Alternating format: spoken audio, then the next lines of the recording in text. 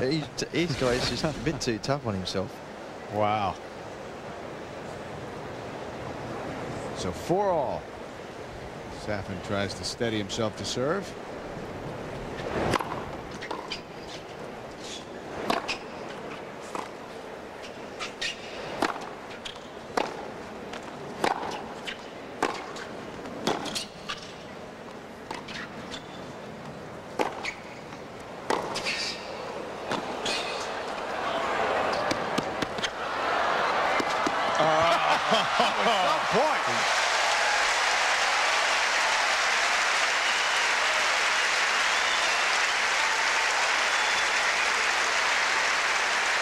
Boy, they cover some ground, these guys. Just scrambled that back. Thought that was good enough. Talked about before as drop volleys or drop shots on hard courts.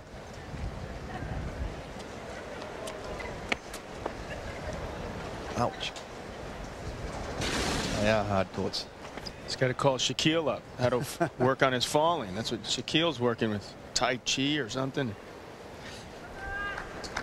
O'Neal, that is. The, the basketball player, Pat. It is. I think it's a Tai Chi. Isn't it a restaurant somewhere?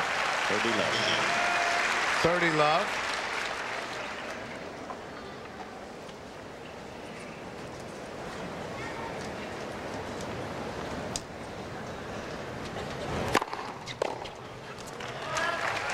Forty love.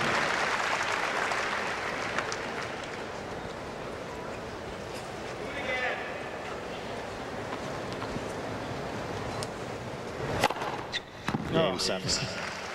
129. 14 aces for Safin. It's 5-4.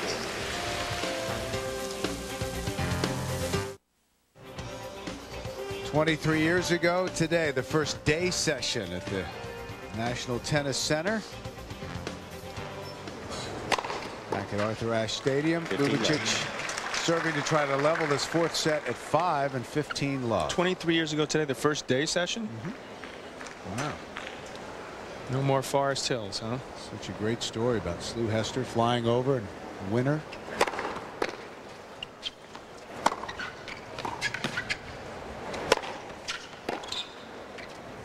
Whoa, oh. excuse me.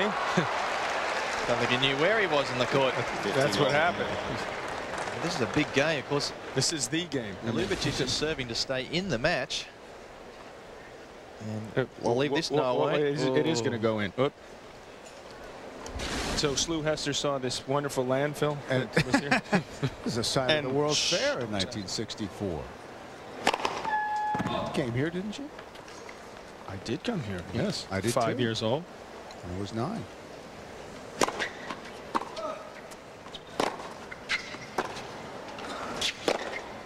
Well, Is that guess what? Yeah. 30. uh, guess what? Now two points away. Safin's definitely looked like he's got some eagerness. You know.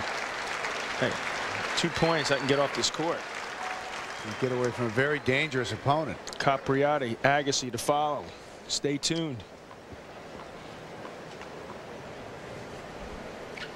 I bet you Capriati's hoping it's a four-setter. You're right. Must be tough to keep that edge for this long. Oh, that's a great shot. Great get. Gutsy, too. That's an amazing shot at that point in the match. 30 up. He's not the most confident around the net, but I mean, that could have come from Pete Sampras, Pat Rafter, John McEnroe, as good as they come.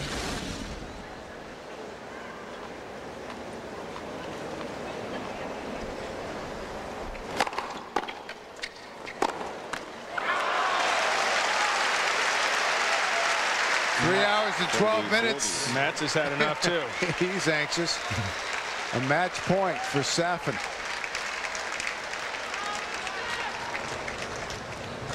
I'll expect a big serve. That's for sure. That's a given. He's going to pray that he misses the first serve. Not a good time for the wind to kick up.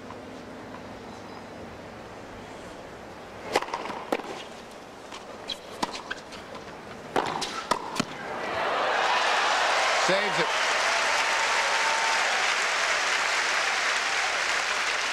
Yes. yes.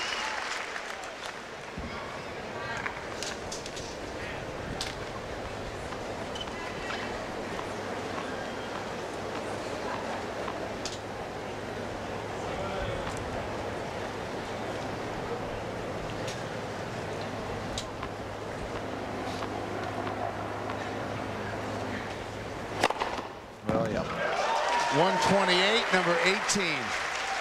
Advantage. Well, it was going to come at some stage in this game.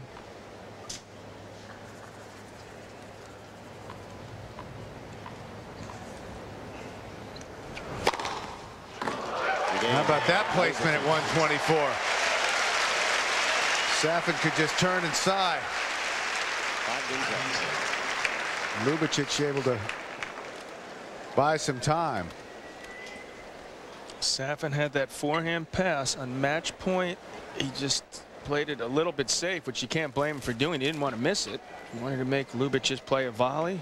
He did. And credit to Ivan. Or is it Ivan in uh, Croatia? We're going with Ivan. Ivan, okay. We know what it is. We know what it is in Czechoslovakia, or the Czech Republic, as they now call it. Ivan Lendl.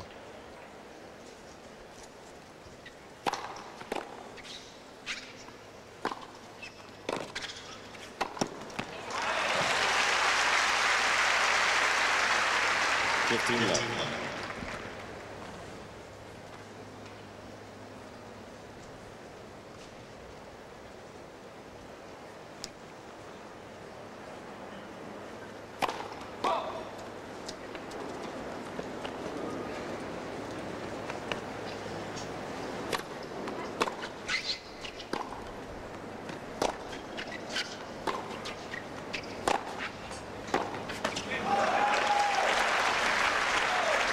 Fifteen all.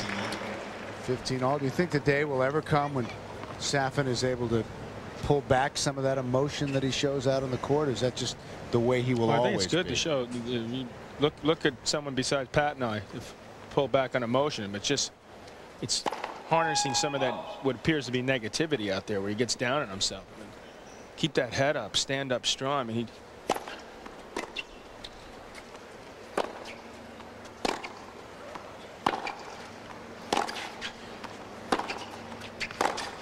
Physically, he's so imposing. 6'4". I mean, he's a great looking guy. There's no reason to put his head down or slouch those shoulders. I think he'd be more imposing. It up. Oh, Woodruff trying to hang on. If if he stood up tall, you know, even when they switched sides, I mean, something Becker did all the time. Made him almost appear bigger than he was. At maybe he was six two and a half, six three. Safin six four. Are those kinds of messages, that type of presence, important in, in matches I at would this think it's important in sports. It's- these guys are getting bigger. And any edge you can get.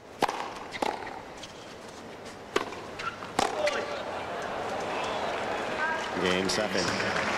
Safin holds, losing just one point on his serve. Seven leads six games to five. And it's 6-5 in the fourth set. Ljubicic again serving to stay in the match. Hoping to send this fourth set to a tiebreak. It's got to go there, right? Of course. Please course. take the nearest seat for now. Players are ready for you. Waiting for people to get settled in. There we go. That'll make you a little nervous finding your seat. Player about 10 feet away from you, staring right at you. Ready to go. Fifteen Didn't seem to bother him much. 20 aces now. Pull back a little bit there, 115. Perfect placement.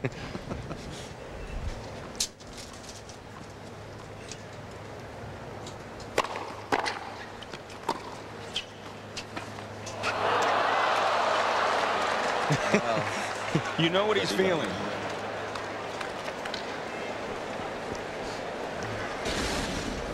Touched like a baby elephant on that one.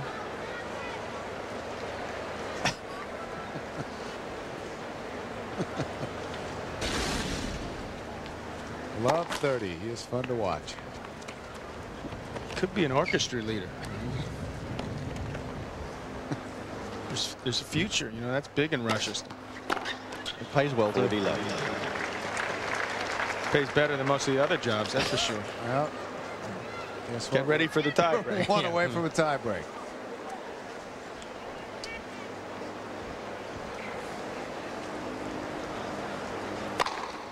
Game. Mm-hmm. Ljubicic. 21 aces now. That's 127 out wide. I mean, you got to add at least 10 more miles per hour to hit it up the middle. Six games all. Tie break. Well, still Sooner or later. ahead. Jennifer Capriati is scheduled to be next, and then Andre Agassi here at Arthur Ashe Stadium.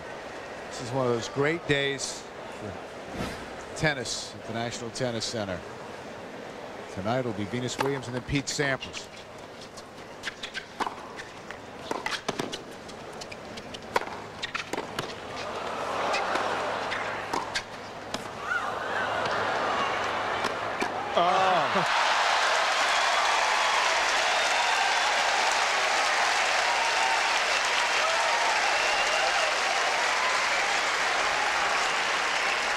One zero.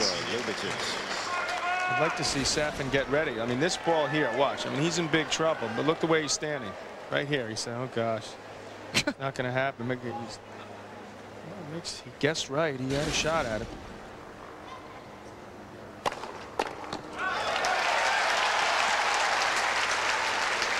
Two zero. Ljubicic. I mean, Safin is disappointed. Of course, he did. You know, it was a poor half volley drop shot, but that was a good serve. Slams his racket. You know, just get on with the, get on with this tiebreaker. It's two love. It's not the end of the match yet.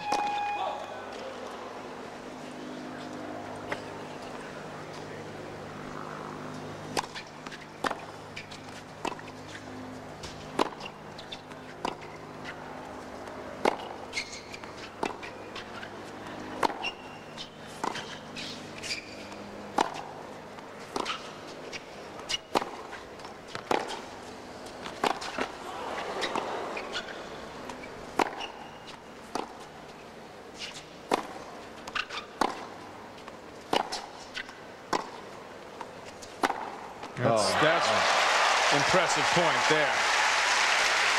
Safin very patient. I wish I could hit Two one one. ground stroke as hard as he hit those last 10.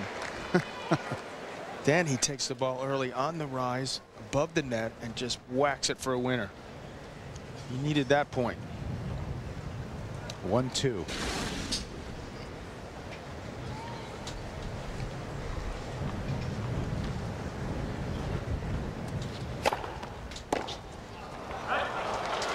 Two all.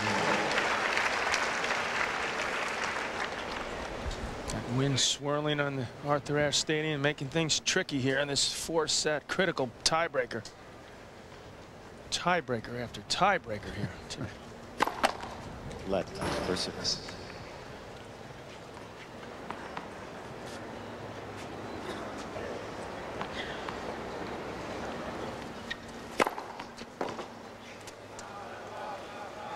Get out. Get out of here.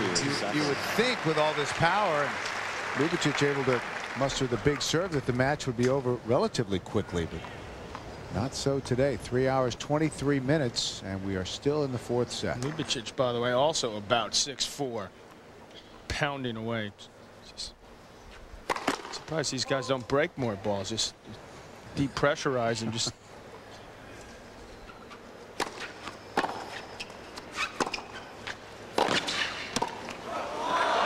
He's got the feel there.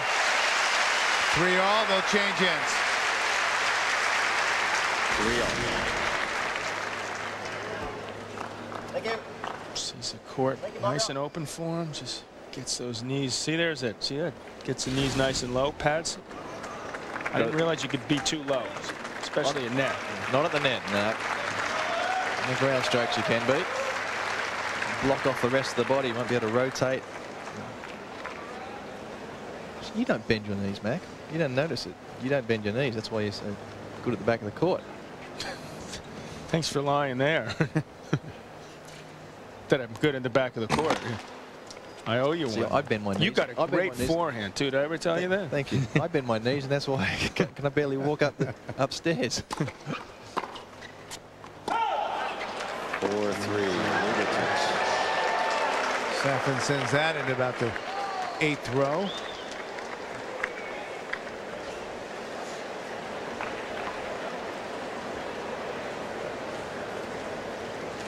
Three, four. Can't get any tighter than this one has been.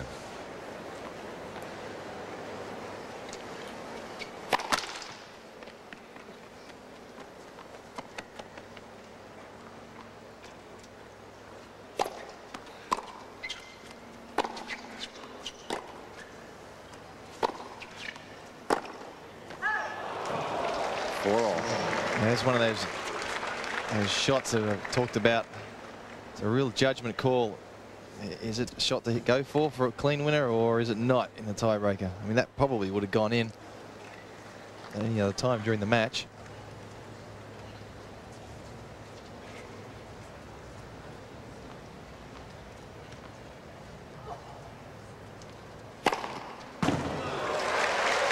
One thirty-four. That's 15 aces for Safin. 5-4. Safin.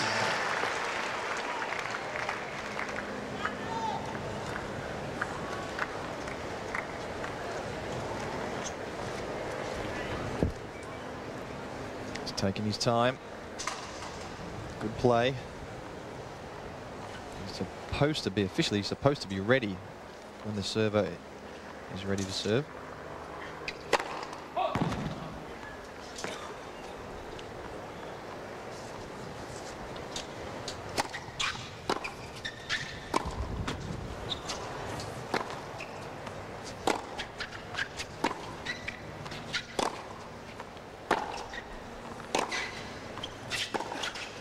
That's, that's well done. See, he's, he's got some spring there, and he took it early again. Took it up high. He loves it there.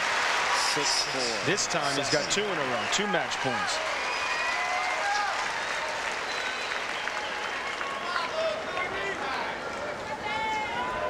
Almost three and a half hours.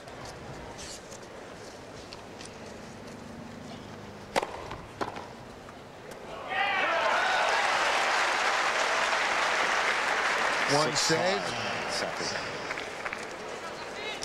Safin will have a third match point. First on his serve.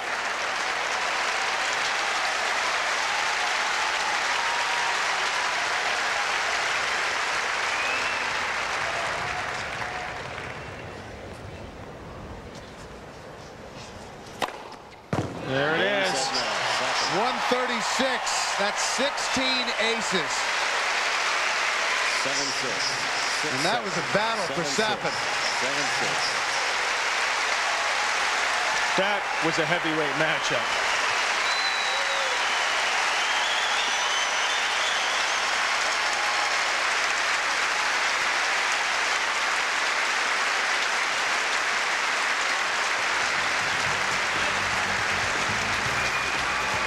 So a lot of question marks about the defending champion coming in, but he is through to the third round.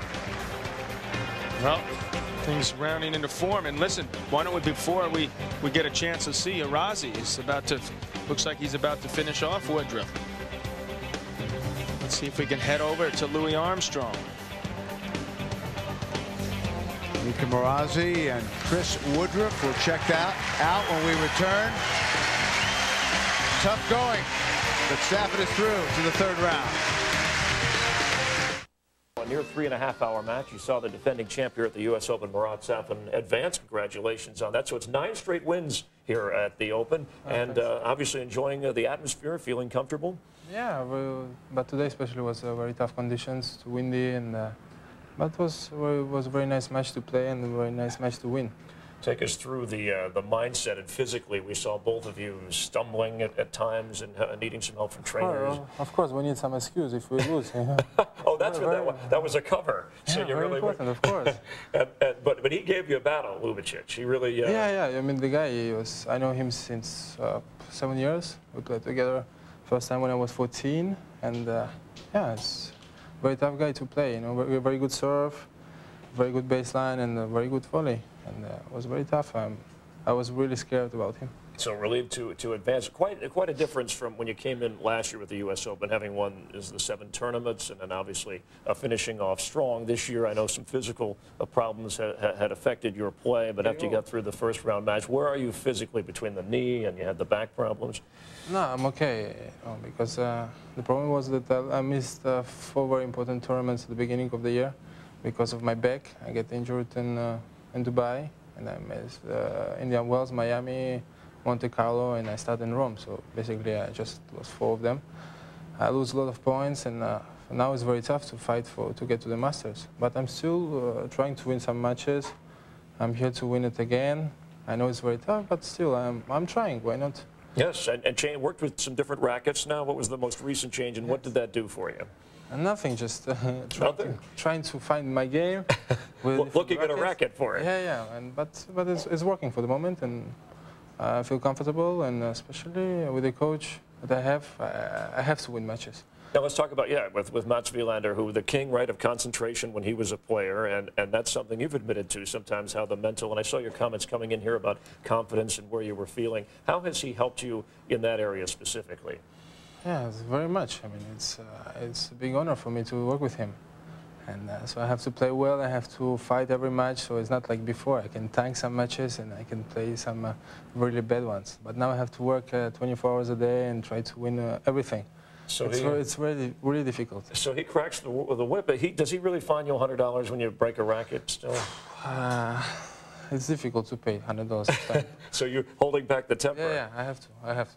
Well, in the broadcast, John McEnroe, they talked about your emotion, and he says, hey, it's good to play with, with emotion. Obviously, you don't want too much of it to be negative energy out there, but is it important for you to play that way? And obviously, a place like the National Tennis Center, the, the, crowd feeds off that. No, but because it's, uh, I'm like this, I cannot change myself, and it's very difficult to, to play in another way, you know, be quiet on the court, be be nice to everybody. I can't. I have to. I have to fight because I'm getting angry with me, with uh, with my coach, with my father, with uh, with everything. Yeah. So it's, but it helps me uh, yeah. somehow. I don't know, but uh, I'm still winning matches. So it's, a good thing for me. All right, good. Just don't get angry with me or we'll break no, your racket. Okay, it's okay. All right. All right, thanks for coming by. It was fun watching, right? Three and a half hours, a good workout out there. Have a drink, relax. Marat Safin, the 21-year-old defending champ, advancing here, day four of the U.S. Open. We'll check out Jennifer Capriati getting ready to go in her match as we continue uh, from New York. Don't go away.